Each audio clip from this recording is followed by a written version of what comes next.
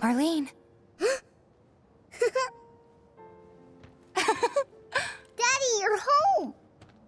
That's right, Angel. I Welcome am. back.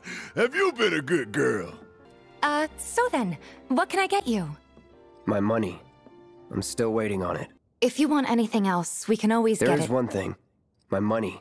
But That's it? thing. Sleep tight.